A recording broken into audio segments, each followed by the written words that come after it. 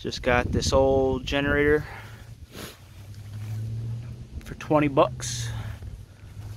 I was picking up a scooter and saw this sitting there and said, "What's the deal on that?" And so yeah, we'll see. Uh, we'll see what it does. I'm gonna start pulling apart stuff and I'll update you. Well, got the fuel filter off.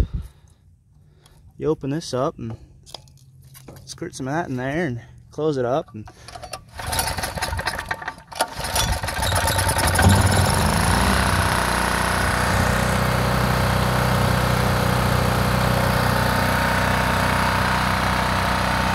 Hey, it's running.